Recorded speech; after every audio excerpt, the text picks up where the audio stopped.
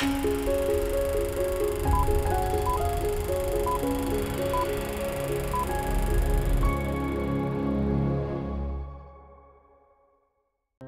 for Georgia Outdoors has been made possible in part by the Imlay Foundation and from viewers like you.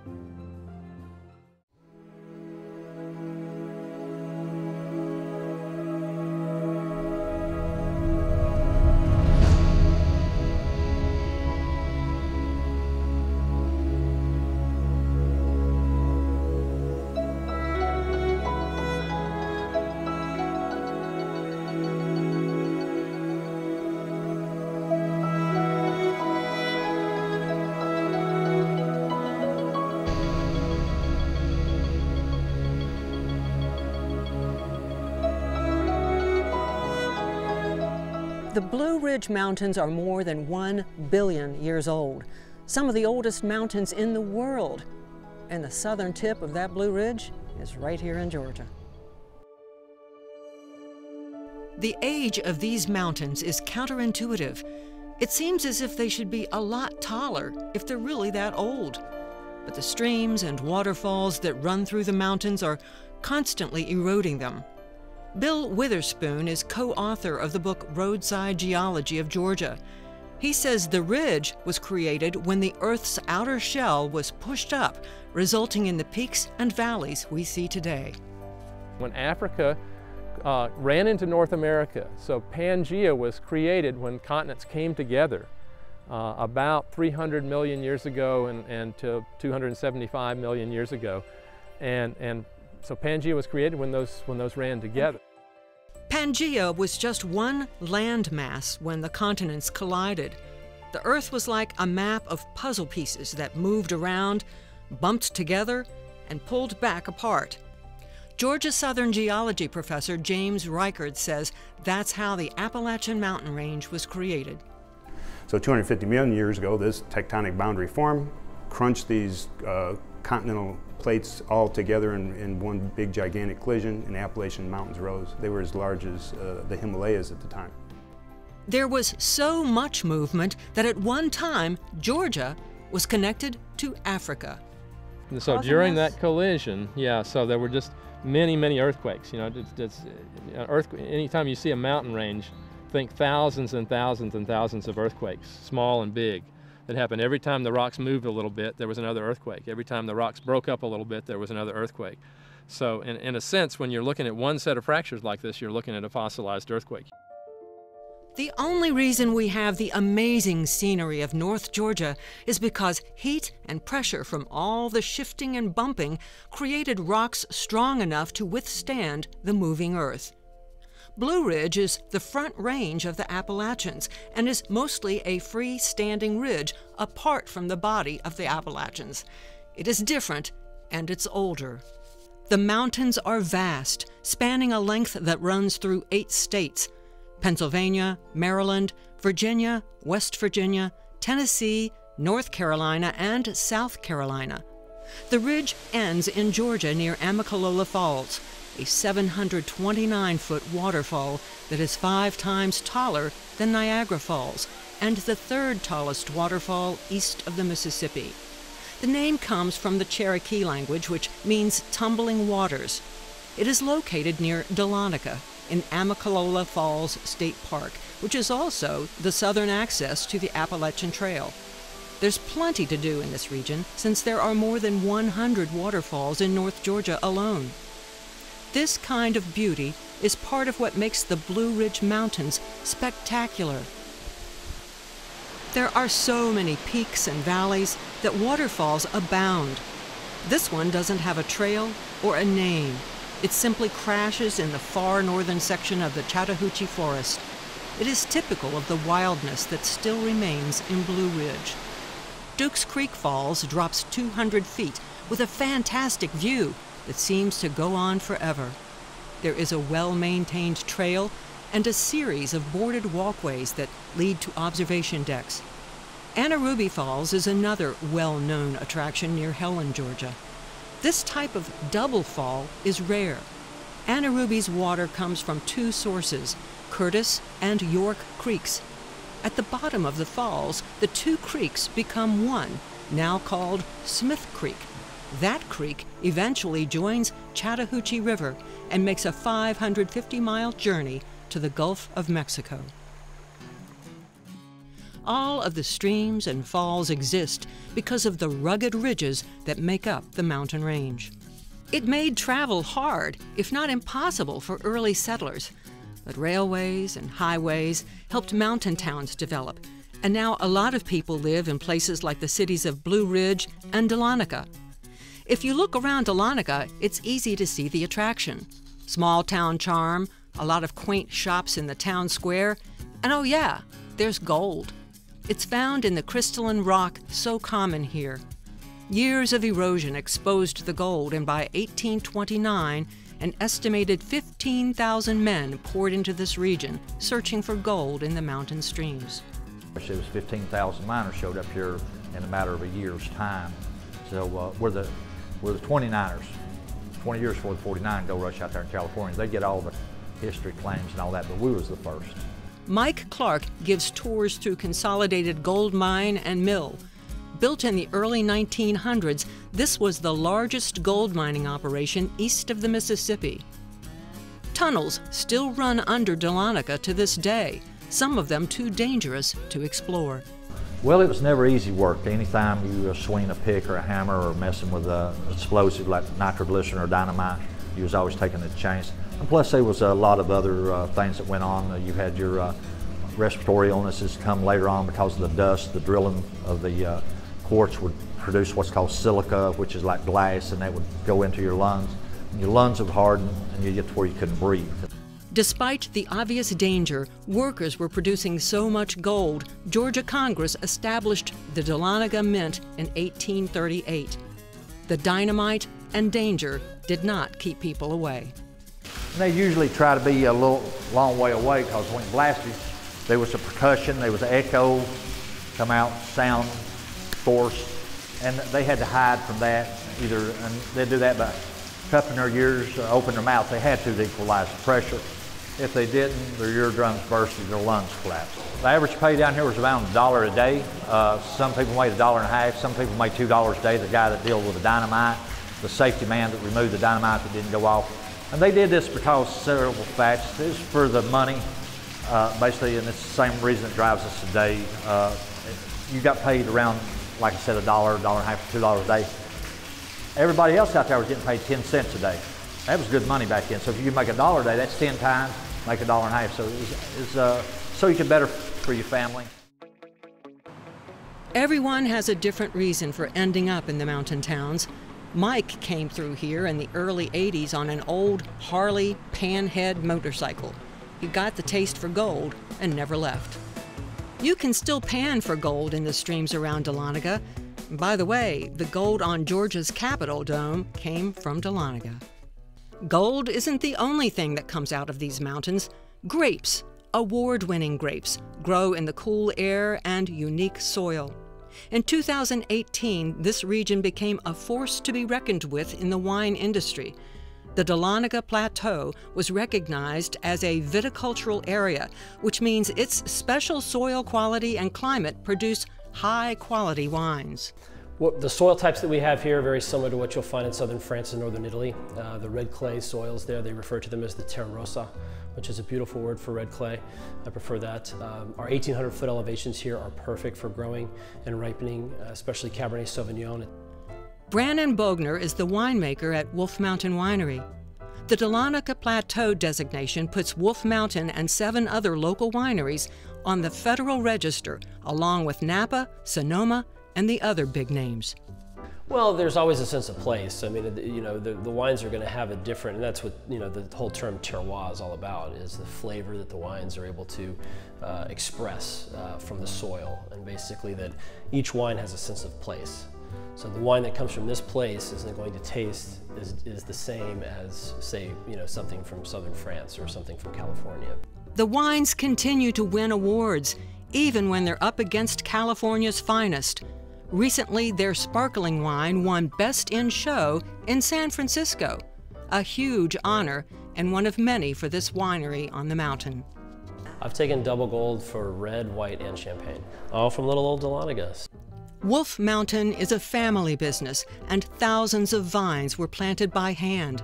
When Stephen Smith isn't in the field, he's working the entertainment end of the business. Years ago, it seems as folks were moving into North Carolina, but now they're coming into North Georgia for long weekends and stuff like that. I mean, on a busy Saturday here in our tasting room, you know, something's wrong if we don't see three or 400 people um, in a four or five hour window before we have our weddings. And so that, that excitement, that energy, um, it's, it's a blast. Since community is great, um, we've got a little park right in town. We do a lot of things on the weekends, on Friday nights, farmers markets on the weekends, and you know, you see the same, you see the same people. That's what makes it fun. A to live here, um, raise families here. You know, everybody kind of catches up uh, when they see each other in town, and it's not a very, it's not, it's nothing sterile about it. You know, it's not eyes down, looking where you're going. It's hey, how are you? How are things? How's how's your family? Mountain towns have a sweet atmosphere you may not find in the city. Many of the folks who move here are in what you might call their next act. Jim McKnight started Grumpy Old Man Brewery. He has since sold it to new owners, but his story is familiar to many other folks in this town. First of all, it's a good place to live. It's a nice lifestyle. But second of all, it's, it's full of what we call people in their second acts. So they've retired, most of us retired early. Uh, they've still got a lot to do, a lot to contribute, and everybody kind of works together and supports everybody and wants everybody to be a success. And Blue Ridge is just a it's just a cool place that way. The, the tourists, the first thing they say, you can talk to any of them, they're all trying to figure out how to move here because they stay here for a week and they're just so relaxed and so laid back and, and so um, pleasant till they don't want to go home. Well, uh, when I retired from the corporate world, I started brewing at the house and my wife threw me out of the house, so I set up a brewery in my outdoor shower. A couple of the restaurants downtown actually asked to taste our beer. And we said, okay, so we carried it down. And they said, the number one request from tourists is what's your local beer? And we really don't have one. So y'all ought to fire it up. And before we knew it, it blew up on us and we got like real jobs. So this was not planned. This had absolutely nothing to do with anything other than Blue Ridge Karma. Sarah Almond did the same thing. She started her shop called Out of the Blue just so she could live in Blue Ridge. Uh, and I was in the photo industry down in Atlanta. Um, but I, I, came to Blue Ridge and I found a house the first weekend I came and I wanted to live here. So I had to make up a job. So this is what I made up. I think what happens here is we're in the foothills of the oldest mountains in the world. And there is a calling, there is a serious mojo to, to this area. And um, it really is beautiful. When I got here, uh, there was nothing. I mean, the shops were boarded up. Uh, I mean, it was like tumbleweeds down the street, and people had antique stores, which were just really junk out of their attic that, you know. And um, you know, we came in and then, you know, some other friends came in and furniture stores started to happen and, uh, you know, to supply the demand of the people that were moving up here to the magical area. There's a lot of passion up here and I think that's what makes all of us comfortable and special is that we're each doing our thing. Um, I work with winemakers and cheesemakers and brewers, and I know almost everybody I buy from, and these people care. You know, it matters. And so when, when customers come in, I love to show them something that's new. I love to, I just want somebody to like it as much as I do. And it, it just is, it feels great when that happens. It really does. I, I think it's fun to kind of taste something and think, what's happening here? Let's do this with that. And um, when you hit it, you know it. And when you miss, it's like, whoa, let's don't do that. Bad call. But I remember very, very explicitly the first time that happened to me. And I had a 1965 Sauterne from France with a homemade foie gras, also from France. It was in a little can, unmarked, looked like an unmarked can of tuna. So it was pure fat and pure sugar And I had that and I heard Beethoven and I thought, I get it now. And that started me on my quest, which I knew nothing when this all got going, you know, so it was fun. I'm sending an inert gas into the bottle and the gas is displacing the wine. So what we're gonna do right here is have a little wine.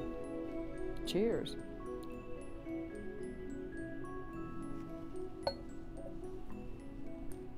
Smack, smack, that is good. Go ahead. It's early, but it ain't early in Blue Ridge.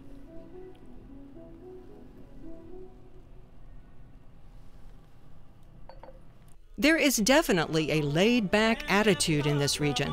And if you ever wondered if mountain music was a thing, take a listen.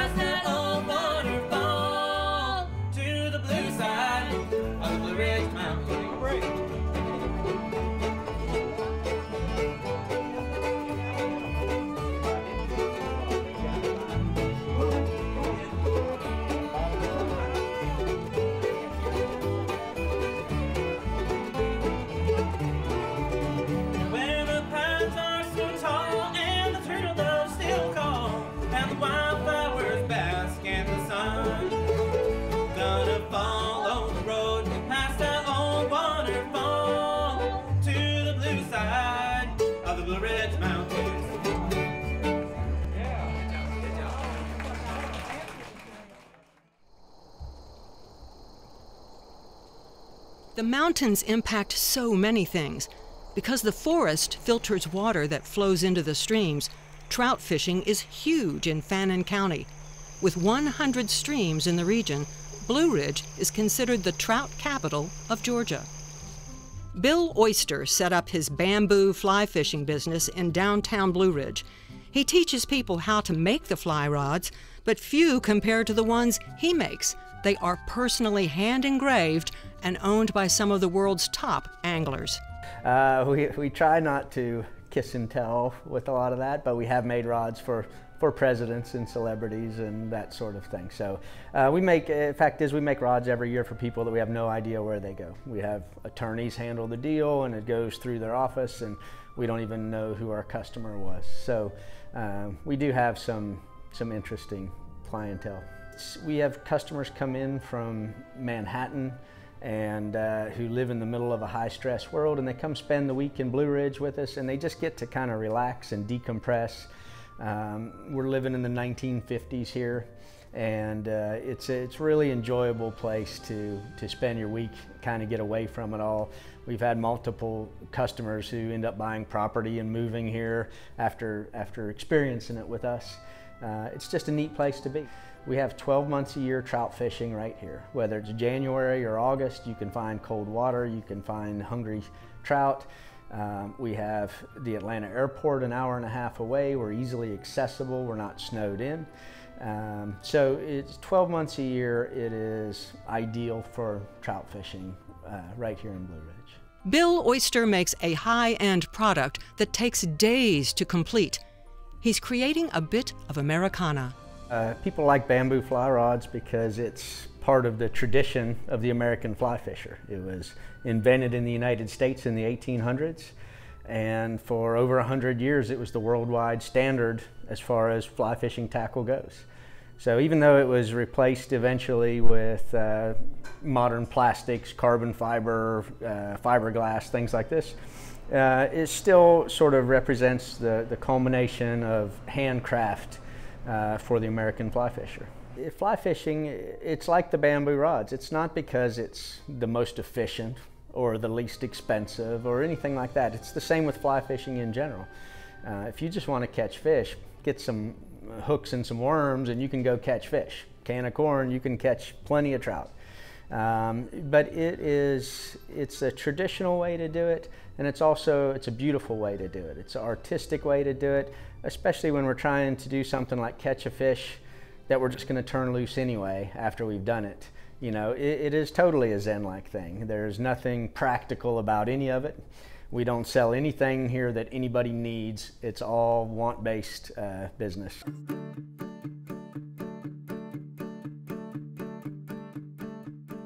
Well, my parents got married uh, in like 42 and they, after that, they, shortly after that, they bought this property it was a, a, community where everybody just congregated right here in this little area. And the, uh, all of our neighbors would come down here and we'd have picnics because we were right here by the water. And my dad had all these picnic tables that were lined out all the way up the, in front of the house. And so people thought that it was a state park. It was really pretty. Then we actually mowed the grass right into the river and had all those picnic tables there. So um, we would go swimming. I, I learned to swim right here in the river, and that's that's quite a challenge.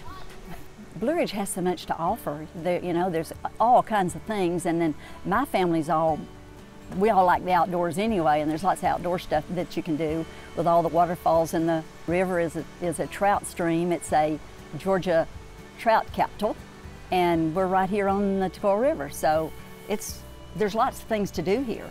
You, you meet different people, people from everywhere, and it's just, it's been lots of fun. We've enjoyed it. Uh, my husband and I have been doing it now. Well, I started uh, uh, working full time in 94. And so we, and I took ownership in uh, 09. And so I have been working the whole time.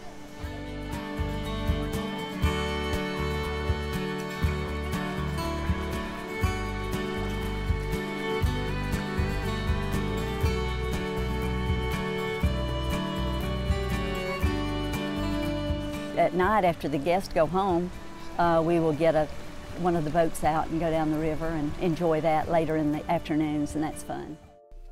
The characters who live in the mountains are part of the magic in these hills. Another reason the mountain range carries a bit of mystique is that they really are blue. UNC biology professor Jonathan Horton explains why. So, Dr. Horton, uh, everyone talks about the Blue Ridge Mountains, and they really do look blue a lot of times. Why is that? Um, so that's yeah, a common question people have about the Blue Ridge Mountains, and it's really the answer is really the same reason why the sky looks blue.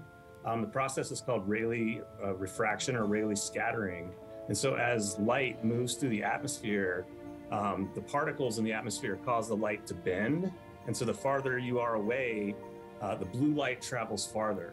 And so what's interesting about the Blue Ridge Mountains is a lot of the vegetation, so a lot of the oak trees and hickory trees like that produce a compound called isoprene that's emitted into the atmosphere.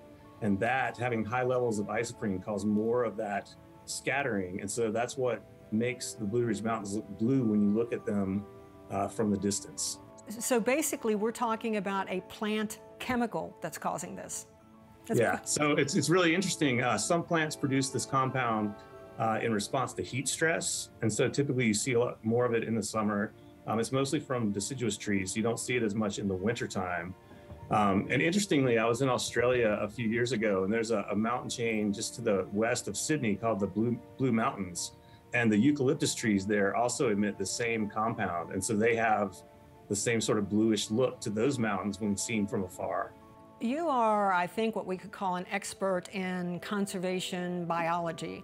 Does it ever worry you that the plants that make the mountains look blue could uh, disappear because of climate change or uh, some kind of uh, uh, invasive? So yeah, that is a concern because not all of the plant species, not all of the tree species produce isoprene.